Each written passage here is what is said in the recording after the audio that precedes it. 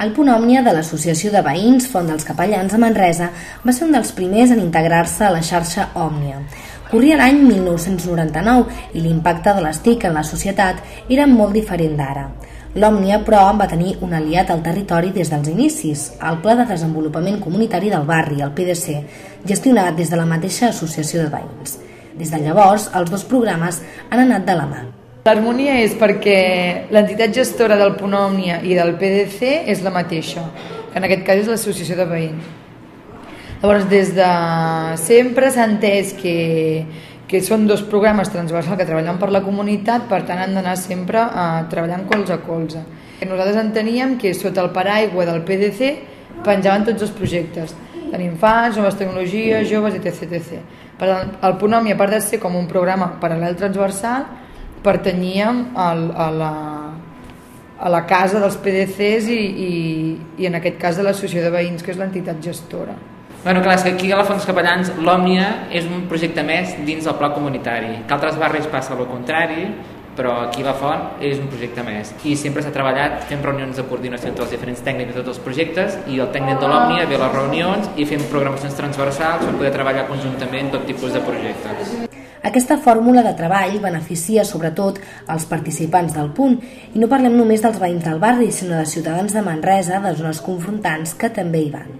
L'altre avantatge és per als propis tècnics dels projectes, que veuen com el treball coordinat i conjunt multiplica les possibilitats de l'èxit. Els tècnics és el que parlava abans, no? és beneficiós en el sentit de que treballes colze a colze, um, pots fer activitats conjuntes, projectes globals, mm, no és de jo, jo què sé, decideixo treballar aquí un taller però que paral·lelament ho treballarà un altre projecte d'infants, per exemple. Doncs tant per tant ens posem d'acord, clar, les reunions són mm, ai, quinzenalment, vull dir que anem, anem bastant coordinats, tots els tècnics que treballem tema comunitari aquí al barri, siguem del programa que siguem. La, primera, la, la programació de l'Òmnia la fem conjuntament entre el tècnic de l'Òmnia i jo, que soc el tècnic del pla comunitari. I depenent, depenent de les demandes que hem tingut, perquè dediquem molt a inserció sociolaboral, conjuntament amb el SOC, amb, el, amb el CIO, que és el Departament, de, Departament Laboral de l'Ajuntament de Manresa, i després depèn de la demanda que tenim al barri ara hi ha molta gent gran que vol aprendre doncs fem cursos adreçats a gent gran o sigui, depenent de les demandes que hi ha entre els projectes conjunts hi ha el casantil i la ludoteca. Es tracta d'activitats programades des del PDC però que utilitzen l'espai, els equipaments i la col·laboració de la dinamitzadora de l'Òmnia. Un cop per setmana, nens i nenes d'entre 3 i 6 anys d'una banda i entre 6 i 12 de l'altra fan servir l'Òmnia per acostar-se per primer cop a les TIC. L'objectiu és que a través de les TIC, a través del punt Òmnia, de les eines informàtiques que tenim aquí, els nanos treballin igualment la vessant lúdica, però introduint-los en aquest món te tecnològic i més ells que ja han nascut en, aquest, en aquesta era. Venen amb les educadores de cada projecte i se'ls inicia això, amb, amb els ordinadors, tema ratolí, tema teclat, però tot és a nivell de joc eh, interactiu a la bueno, a través d'internet i aquestes coses.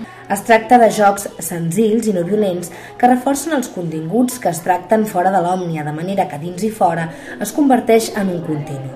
El PDC i l'òmnia coincideixen en la necessitat d'iniciar els nens en l'àmbit tecnològic com més aviat millor. És una cosa, jo crec, ja de sentit comú, no? Estem en una era ja, bueno, perquè he de dir jo, no? Bastant digital, amb el que els nens a l'escola és que ja des de petits que estan treballant en tema d'ordinadors, noves tecnologies, tot el format digital, llavors és bo que els projectes d'aquí al barri vagin una mica acorde amb el que és la societat en general, no? Llavors, creiem que és, és, és positiu perquè recolzem i fomentem el treball que s'està fent des d'altres àrees i una mica també per sortir una mica del seu espai habitual que és cada local, no? Clar, estan de dilluns a divendres, ells per ells també és un al·licient no poder venir al punt òmnia a fer una activitat que normalment no fan, o podem uns jocs que a casa els seus pares pues, no hi juguen, o perquè fan altres històries, o diferent al que, fan al centre educatiu. No? I per les cares i les opinions d'aquests nens i nenes sembla que s'ho passen d'allò més bé. Ara estic jugant al cotxe. Estic tocant un botó que tindria de jugar el joc de la... del joc del cotxe. Uh, cavalls. Doncs córrer, mm, caminar, perquè és molt divertit. Perquè puc aprendre, puc fer moltes coses. Estem jugant a jocs de cavalls. Pues saltar i... bueno, a, a, aquest saltar i, i, i agafar agafar banderes i, i clicar les fletxes. Bé. Bé? Ho feu bé? Sí. sí ens en, ho hem de fer moltes vegades per exemple, perquè juguem molt. Sí. És divertit. A un joc que es diu Imperium. Mm, lluitar Contra qui? contra uns dolents que hi ha. A un joc que és una nau que té d'anar anar a portar uns animals a, un, a que estiguin a salt, a, a que no els mengin els animals altres ni no es facin mal. Hi ha jocs d'aparcar cotxes, a fer pastissos, perquè puc jugar, veure vídeos i moltes coses. Perquè puc jugar i, i em, em diverteixo jugant i m'agrada molt venir aquí per jugar. Sí que, clar, l'anècdota, doncs, als nens petits de 3 anyets que tenen una maneta xicarrona, doncs els hi costa, no?, el tema del botó o el ratolí, el tema d'accedir doncs, al teclat, la cadira, que és més és cadira d'adult, no? És tot una mica l'accessibilitat que hem de tenir en compte a l'hora que aquests nens puguin entrar a internet, no? Però jo crec que no, com abans podia passar que, clar, no sé els primers dies com són, però com que és això que et dic, jo crec que aquests nens ja han nascut amb l'ordinador sota el braç, com aquell que diu, ja no els hi és tan poc comú. En total hi participen una vintena de nens i nenes del barri.